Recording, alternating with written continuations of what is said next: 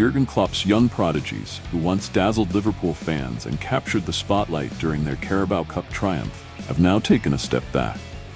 Injuries plagued Anfield last season, and with Klopp announcing his departure at the end of the campaign, it seemed all was amiss. Yet, Liverpool's injury-ravaged first team managed to rise above their challenges, with many academy stars playing crucial roles.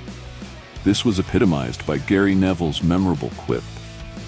Klopp's kids beat Chelsea's billion-pound bottle jobs after their stunning Carabao Cup win, with Virgil van Dijk leading the way with a decisive contribution. As the season progressed, Arne Slot took over the managerial reins, and Liverpool's youthful brigade has undergone significant changes. Slot, known for his pragmatic approach, has streamlined the squad, parting ways with several younger talents. Notable departures include Fabio Carvalho and Sepp van den Berg, both sold to Brentford after productive loan spells, and Bobby Clark, who joined RB Salzburg in a 10 million pounds move. The total from Liverpool's summer sales has surpassed 60 million pounds. One move that raised eyebrows was the loan of Ben Doak to Middlesbrough. Signed from Celtic in 2022 for a fee of around £600, Doak showcased immense promise with his electrifying pace and strength. Last season, he started three times in the Europa League group stage, impressing with his dribbling and duel success. Despite his potential and a comparison to a Scottish Wayne Rooney, a meniscus injury curtailed his season. With the arrival of Federico Chiesa, Doak's path to regular first-team action became more challenging, making a loan move sensible to regain match fitness and experience. However, Liverpool still has budding talents with the potential to shine brightly. One such player is Kieran Morrison. The 17-year-old Northern Irish winger has been making waves with his impressive performances across Liverpool's youth teams.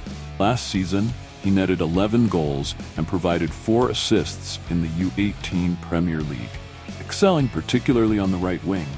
Recently, he scored twice in a U21 match against Sunderland, showcasing his dribbling skills and ability to create chances, reminiscent of Luis Diaz. Diaz, who has been a standout performer this season, further highlights the potential future of Liverpool's wingers. His dynamic play and dribbling prowess have made him a key figure, with notable performances against Manchester United and Brentford. Mark Bridge Wilkinson, Liverpool's youth manager, has high praise for Morrison, describing him as a skilled technician with a flair for carrying the ball and creating opportunities. With both Diaz and Morrison starting the 2024-25 season strongly, it's feasible that Morrison could soon make his senior debut and potentially surpass Doak, emerging as Liverpool's next exciting wide forward.